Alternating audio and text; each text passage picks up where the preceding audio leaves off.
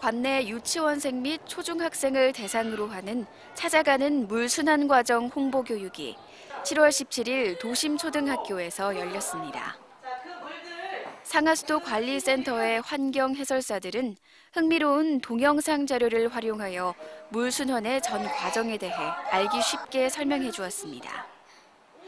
앞으로 11월까지 총 18개 학교 92개 반에 대한 교육이 실시될 예정인데요.